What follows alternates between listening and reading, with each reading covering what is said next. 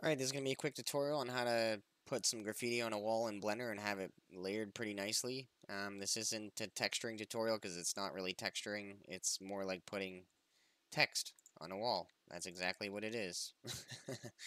okay, so let's move this up and we are just going to scale it so that it's just the size of a wall really quickly here. I don't want anything fancy, I just want to show you guys the quick purpose of how to do this, and I'm just going to scale this on the x-axis just to make the size of a wall here. And for the purpose of this, we're just going to use an image texture. So I'm just going to go into my shading, and I'm going to add in a quick image texture. So we're going to go to add, uh, texture, and image texture. And I'm just going to plug it into here, and open it up. And I found on my desktop, a, or online a nice concrete wall image that I'm going to use. So I'm just going to go into UV editing mode. And we're going to select this side right here. And I'll just zoom out so I can see what I'm doing. And rotate it. And scale it on the X. And scale it on the Y. And we'll just move it down. And we'll just go to this mode so I can see what I'm doing I've already done this, so I know what it's going to look like, and that's what it looks like. Bam, our wall is done. Now let's go over to here, and we'll just set this so that it's rough, because there's no such thing as a glossy wall. And we will start adding in some text. So we're just going to go add and text, and let's move it to the front of our wall, G uh, X, just so it's in the front. And we'll go to snapping tool here and face so that it's hitting our face here, and we're just going to snap it to the wall um, right there. That's fine, because what we're going to go do right here is we're going to set in the geometry and extrude of, let's just go, I don't know, on the offset 0.004, I think is what I did. And we're just going to bring it out a bit so we can see. Oops, sorry, not on the offset on the extrude 0.004 is what I meant to say. And that's going to extrude it a bit, and we're just going to put it into the wall halfway, like that.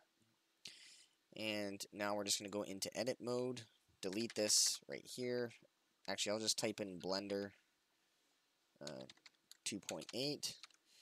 And for this purpose, what you're going to do is you're going to go to uh, dafont.com, and if you want pre-made tags for each letter that you hit on your keyboard, you you'll want to use this one right here.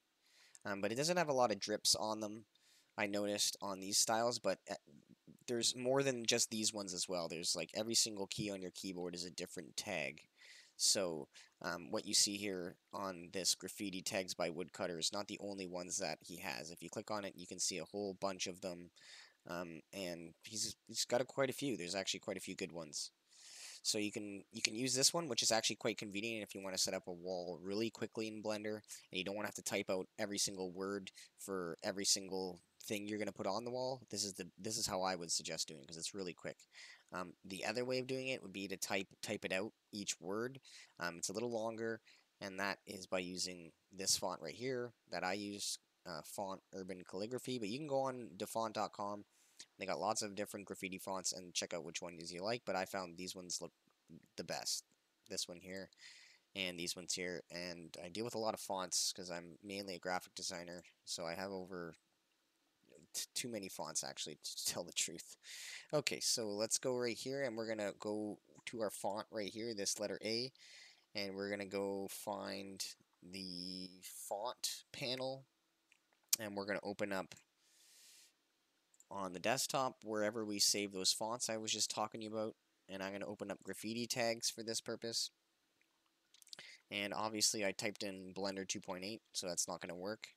So let's just type in one letter, um, letter G, or letter C, cool jazz, there we go. And we're just going to go straight on and just scale it so we can see what it looks like. And we'll just move it up, and we'll give it a quick texture, just so that it's not blah and I'll just make it a bit dark.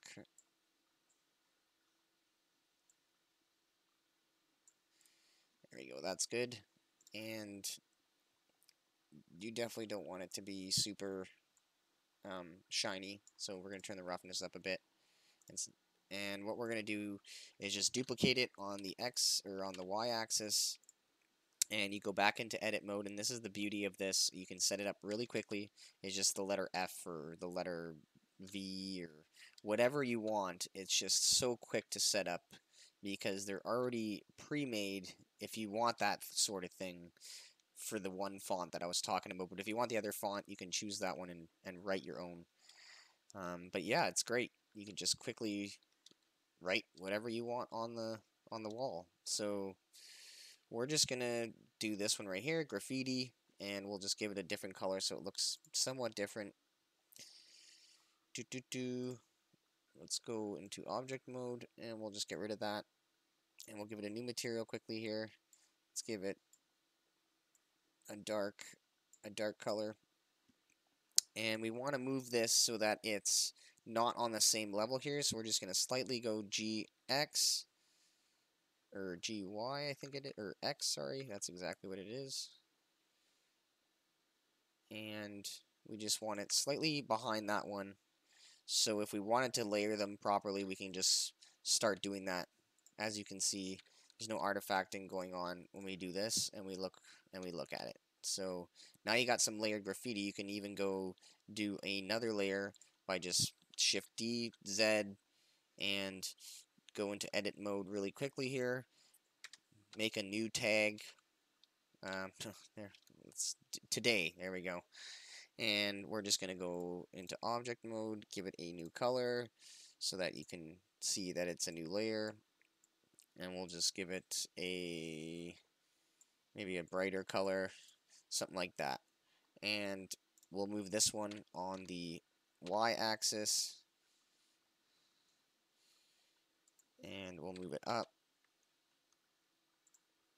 And maybe we want this one on top of the other one.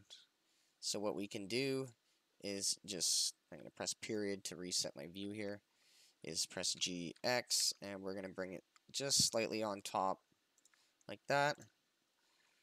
And now we have three different layers all on top of each other. You can, or not all on top of each other, but all on different layers here, but on looking like it's on one layer. And so for I'm going to show you this purpose right here, we're going to move these all to the right here just so I can show you this how I how I cut stuff off with graffiti and how I made it possible. So what you're going to do when you when you want to start doing graffiti near the edges and have it cut off, what I did is you would select the ones that are near the edge and you turn them to a mesh. So you convert to mesh right here. Right click it, convert it to a mesh, and then in edit mode, what I did is I went over here, and I just took my knife tool, and I just cut it exactly where, or pretty close, let's start it over again, where that wall starts, and press enter, and we're going to do the other side as well, and we're just going to cut it really quickly. Just cut it and then go back to it on front view here and we're going to delete all the information which we don't need which would be everything I'm pretty sure on this side. Just like that. And now you have your letters hitting the edge. And sometimes what happens is you can't always delete vertices because you'll get weird problems. And in that case you would want to manually go in and move, do the knife tool like I showed you, and then manually move if there's any existing vertices on the outside, move them over like this in edit mode, but make sure you're in wire or wireframe so you can see what you're doing, and then you can just move those over if you wanted to move them over. Like let's say, for instance, um, like you had a bunch that were like this on the side, and you wanted to just move those over I would just do it like that. And no one's going to be able to tell the difference. Literally, for graffiti, it just doesn't matter.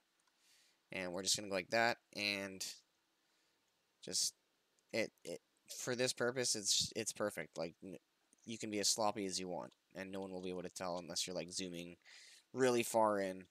Which most people aren't when they're creating a scene with buildings and graffiti and, and a nice environment. It just, yeah. So that's how I really did it and that's the quickest way to do it. You can fill up a whole wall really, really quickly. So, hope you enjoyed it, and hope you got something out of it. And uh, maybe I'll do some more tutorials in the future if you guys like this one. Thanks.